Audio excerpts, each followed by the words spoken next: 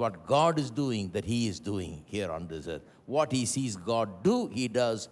What he sees God say, he says. So his words and his actions are totally from God. Therefore, you can see God in and through Jesus Christ. And ultimately, through the cross of Jesus Christ, you can see how that he is the God of love. Be still that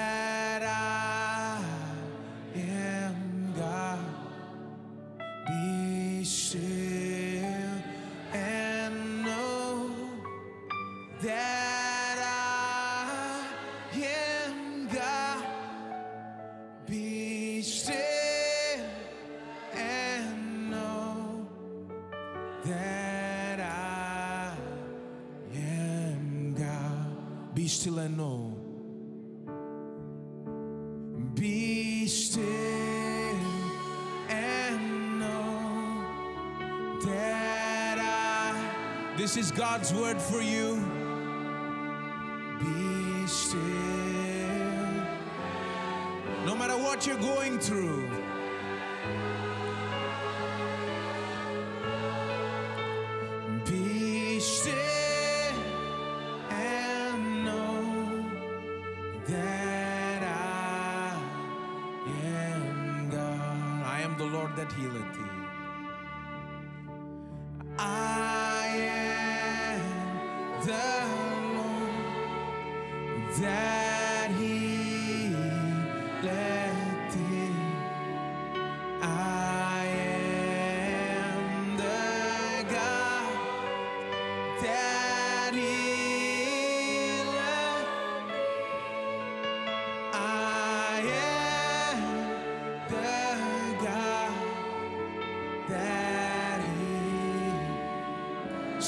Are the God that healeth me. You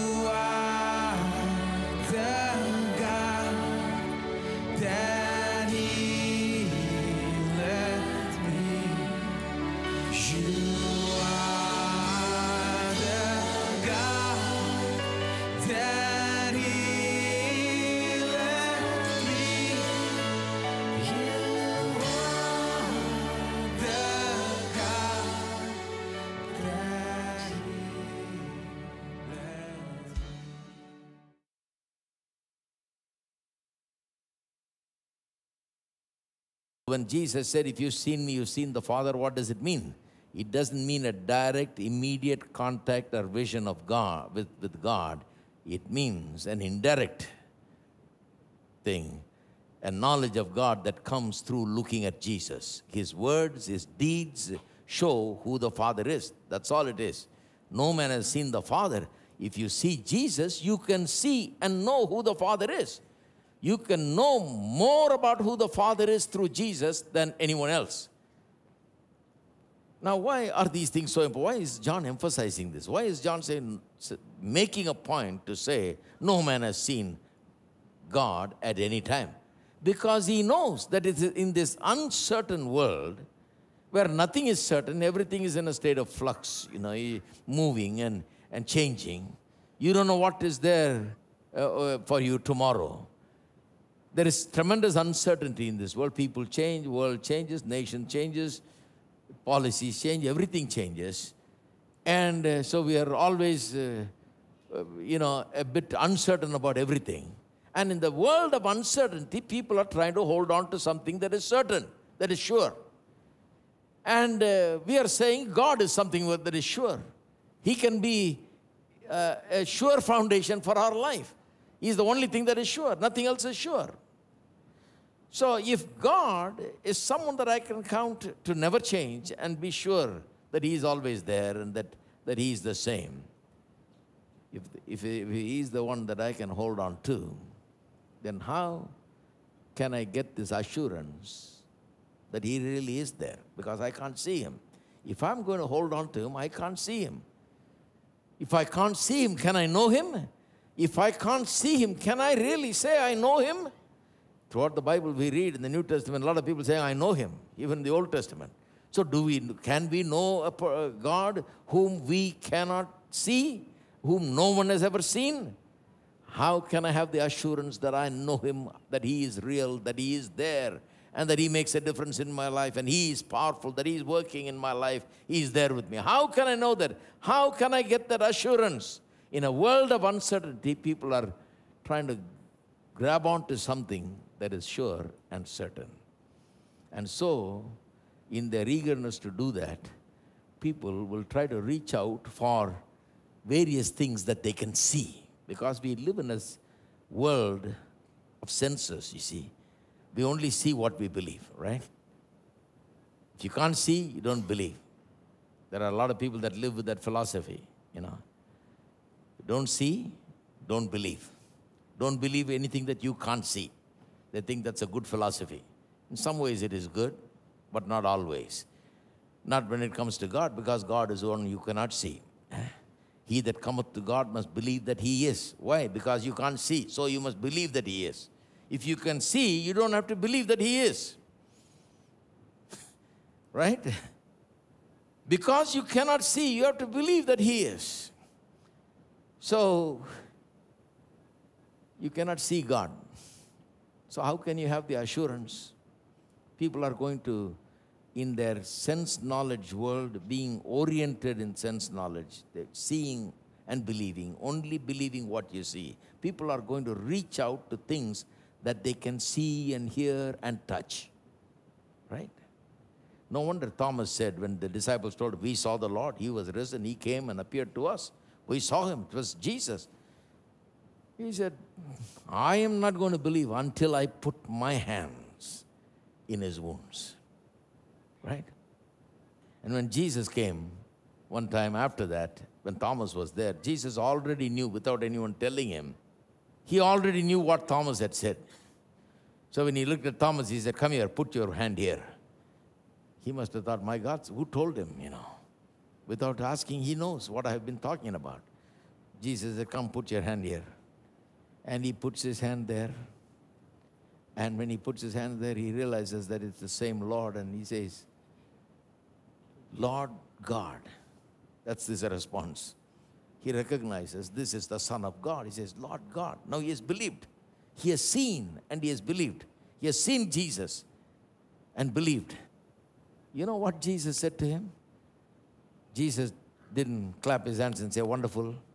You wanted to see, I've shown it to you, and you've believed.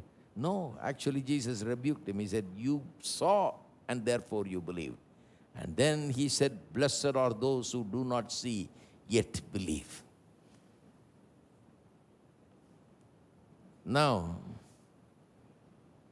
because Thomas put his hand on the side of Jesus and felt him and came to know that it was Jesus.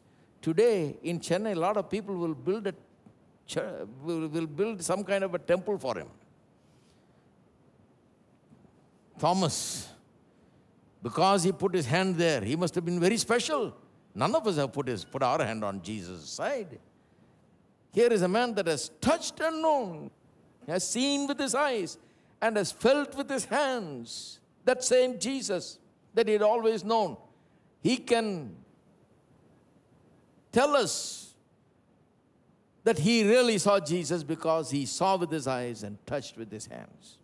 That's, none of us have seen it. Therefore, he must be something special. Some of us will even begin to worship him a little bit and make him a big hero. Jesus rebuked him.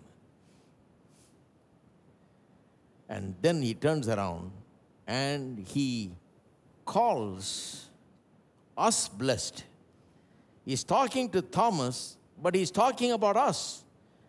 Why I say he's talking about us? Because he said, Blessed are those who have not seen yet believed. That's me. That's you. We have not seen yet believed. We have not put our hand on his side. We have not seen the risen Jesus. We have not seen with these naked eyes. We have not felt with our hands uh, who he is. We have none of that knowledge. We have not known him in that way. But we have believed that God sent his son Jesus Christ 2,000 years ago in this world. That he came and he lived and he spoke these things, he did these things, and he died on the cross, and God raised him from the dead. and that he was lifted up to God's right hand and was seated there above all principality and power, might and dominion over every name that is named, made head over the church. We believe him, we worship him, we believe that he's God and Savior. We put our faith in him. We have confessed him as our Lord and Savior. Jesus says, Thomas, you are not the one blessed, they are blessed. Not the one who put his hand. So I'm trying to say, there's nothing special about putting your hand on Jesus. What if Jesus came by and you really touched him today? Are you going to cut off your hand, put it, put it in a museum, and say, This finger touched Jesus, you know? In 2016, January, nothing special about touching and seeing with these eyes. Something very special about believing without seeing. Jesus said, Blessed are those that believe without seeing. Now, blessed, the word blessed means empowered to prosper. So Jesus is saying, those people that believe without seeing are the ones that are empowered to prosper, empowered to succeed. There is power in that kind of belief, in that kind of faith. That kind of faith is, you know, the world will say, You haven't seen, you believe? You mean to say that you had nothing for your eyes to see and yet you believe? To them, this is, you have no proof. You have not seen. How can you believe? The Bible says, such a person who has not seen but yet believes is empowered by God Himself to prosper. Is a blessed person.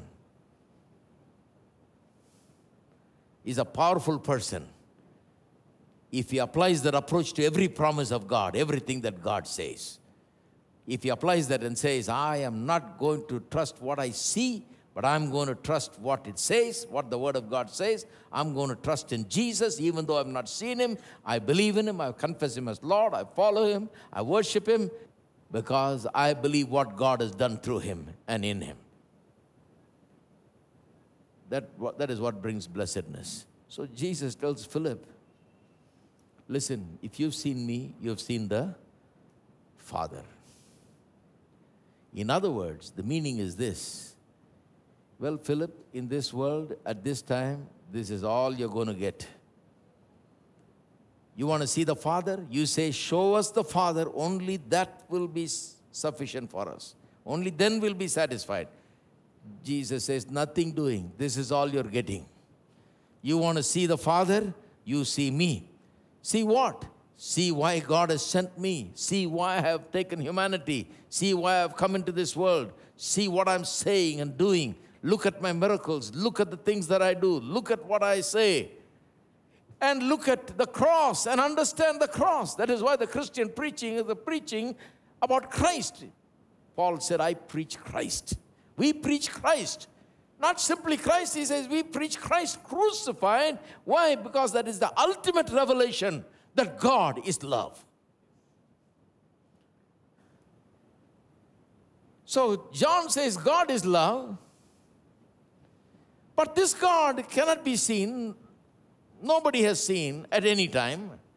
So, how can we know that God is love? How can he know that this God is a God of love? How can he know that he has loved us? How can he know that, how can we know that we can trust in that love? There is only one way.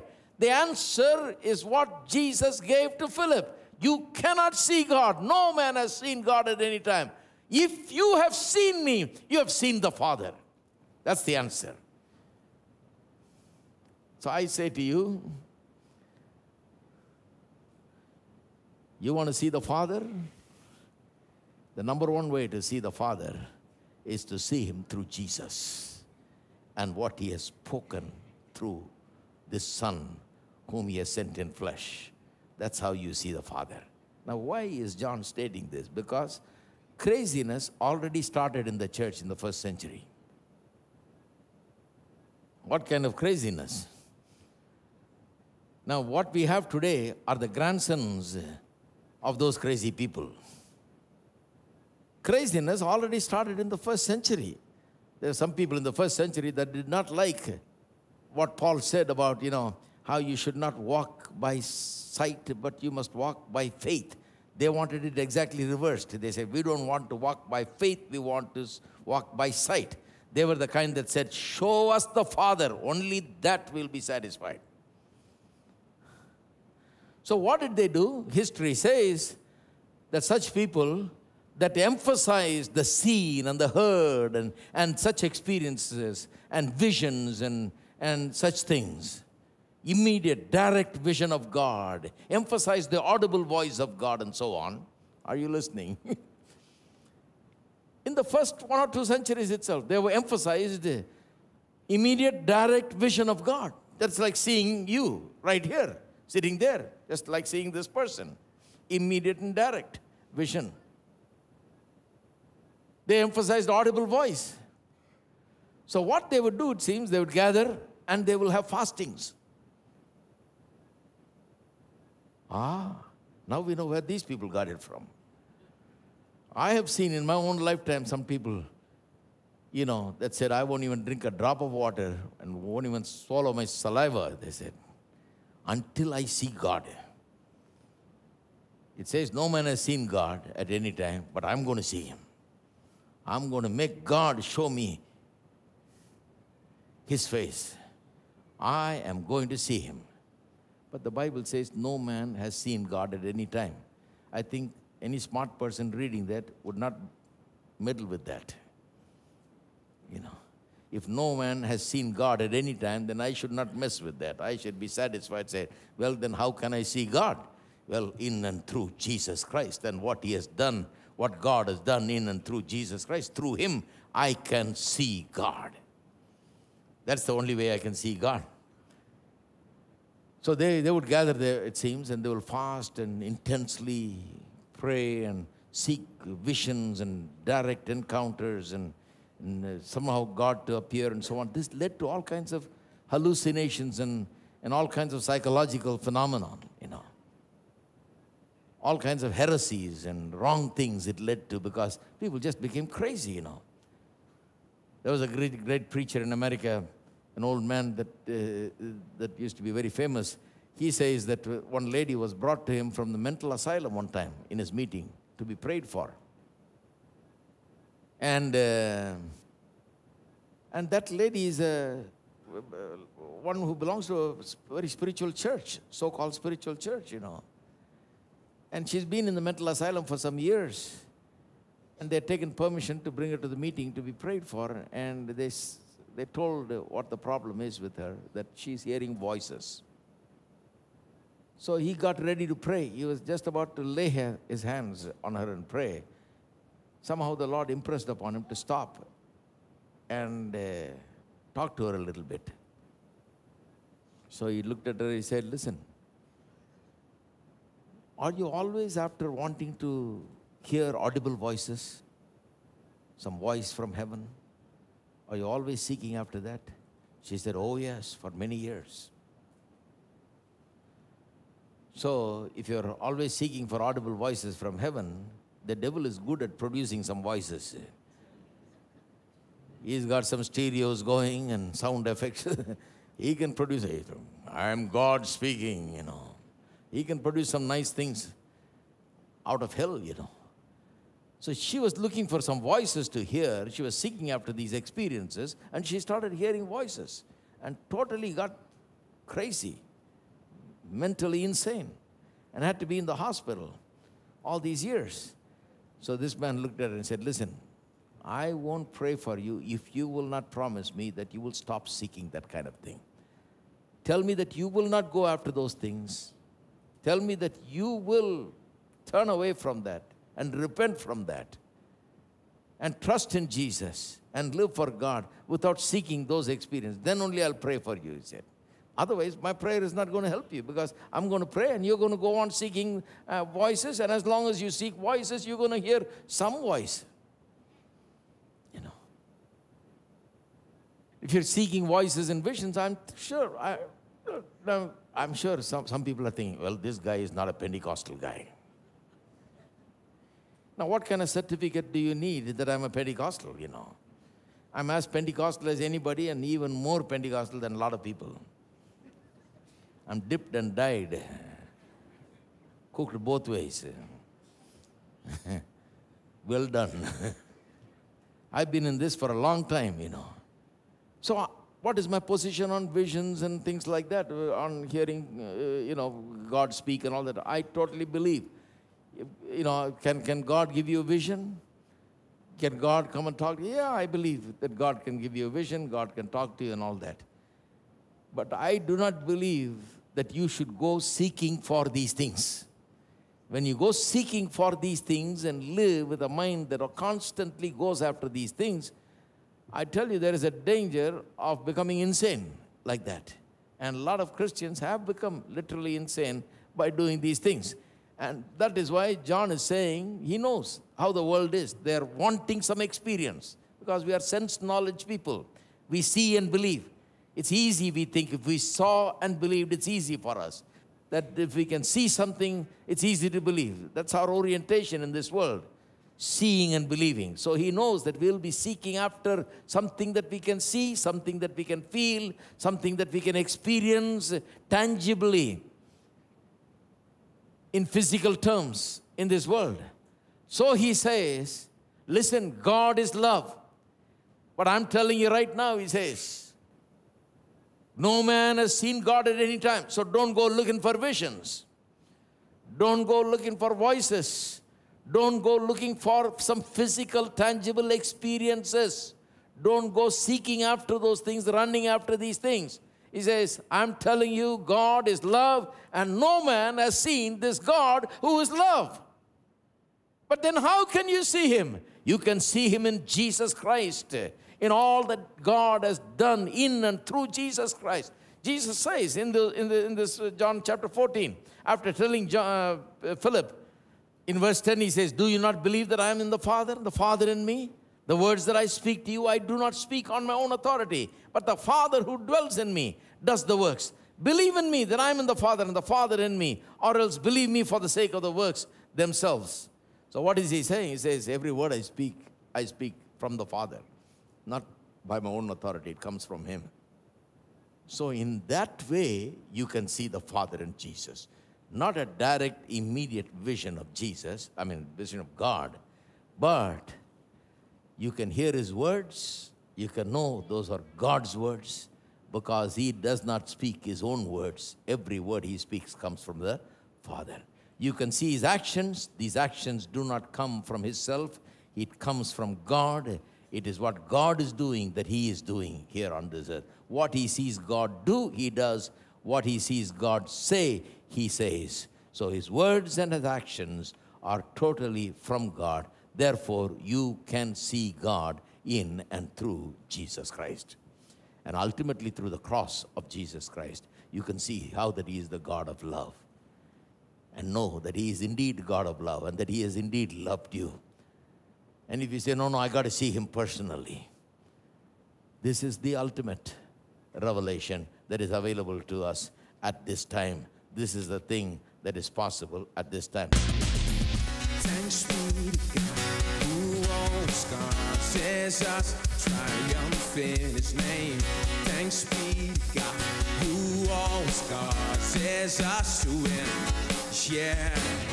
Thanks be to God who God, says us triumph in his name. Thanks be God, thanks be to God. We have overcome.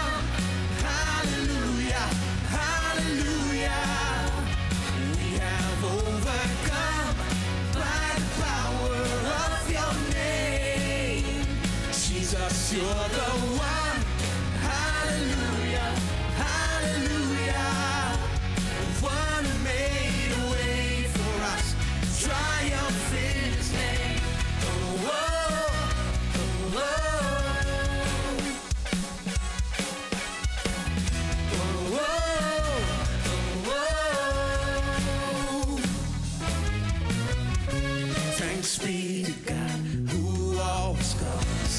causes us to triumph in his name. Thanks be God who always causes us to win. Yeah. Thanks be to God who always causes us to triumph in His name. Thanks Clap be our hands and to sing. God. Thanks be to God. We have overcome.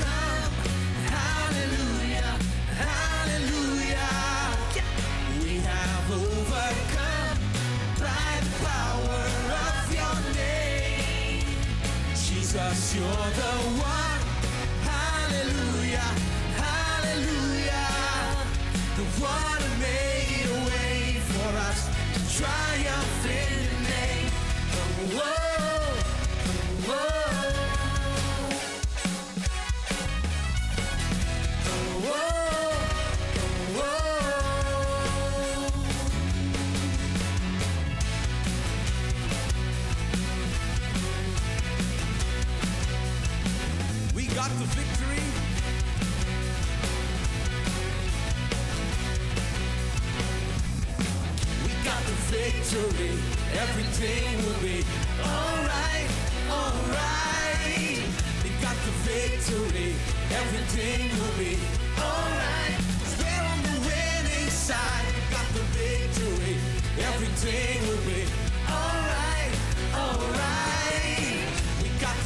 Victory.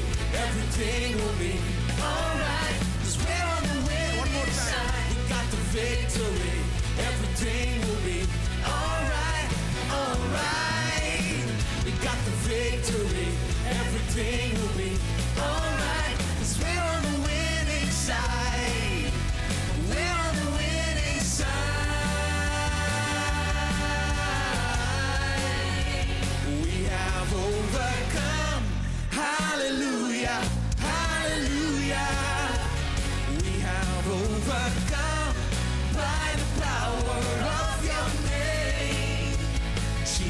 name.